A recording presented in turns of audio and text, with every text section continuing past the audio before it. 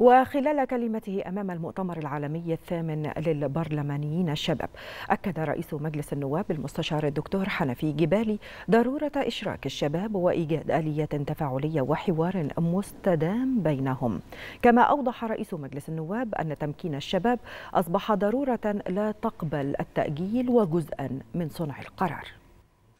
إن أهمية انعقاد أعمال هذا المؤتمر تأتي من فداحة التحديات التي تواجه عالمنا المعاصر وتؤثر على مستقبله والتي تحتم علينا إشراك الشباب خاصة شباب البرلمانيين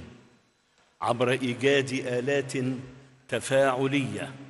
وحوار مستدام بينهم حيث لم يعد تمكين الشباب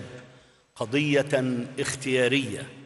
بل أصبح ضرورة حتمية تفرضها مقتضيات الواقع العالمي وتحديات